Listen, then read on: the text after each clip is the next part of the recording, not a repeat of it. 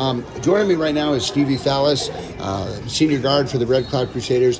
You know, it's been a couple tough years for you. Garros made the state tournament a couple years ago, no basketball last year. Can you describe to me how does it feel to be back at Lakota Nation? Uh, it feels great. Um, I like miss the atmosphere, and it's just like it's just great to be here and just like in front of playing in front of fans and just like playing basketball in general. It's like really good, and to have like a lot of like Lakota people around, you know, after like the tribes are trying to shut everything down last year. I think it feels great.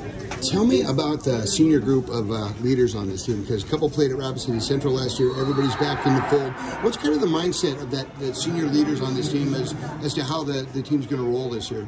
Yeah, um, I think it's great how you know everyone went their own ways and you know became leaders on their team. And so like when you come back, it's like not everyone just depends on one person. Like okay, this person got to score. You know, it's like everyone has that mindset. Okay, I'm good, so I everyone can score. And it's like everyone going. It's like that's what we needed for our team. And it's like build everyone more confidence and yeah, I just feel like it's great and it's a lot of leadership. Sometimes we have our ups and downs, but you know, we just pick each other back up. And... The South Dakota media poll uh, didn't give Red Cloud a single vote.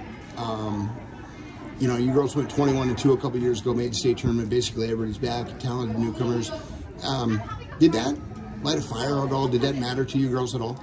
Um, actually, well, whenever we like out, we, we were kind of just like, you know, we haven't played in a few years, you know, so like nobody knows, but it's like, you know, we're ready to surprise the state of South Dakota and like, you know, just get back into the groove of things. And, you know, our first game, we are kind of like a little rusty, yeah. you know, just getting back into things. And so, yeah, I think that it did put a chip on all of our shoulders and it's like, wow, you know, like we're, we were gonna surprise them. And yeah, I just feel like it like, not really like, kind of like made us feel like sad or whatever. It just like lit a flame that we're like, we gotta show them what we can do one more kind of quirky little question, but late in that game, um, Ashlyn Carlo scored a bucket.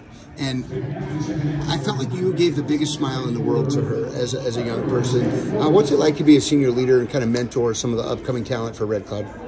Um, it feels great, especially because all of them kind of like look up to you, and it's like you know they're they're trying to be in your school, and so you know it's just great every time you know like they score a bucket like in these minutes that they get, and it's like because every day you know that group of girls you know they have to struggle against us every day in practice you know against our defense and you know Ashlyn is a really really hard worker, and I think that she's going to surprise the state of South Dakota.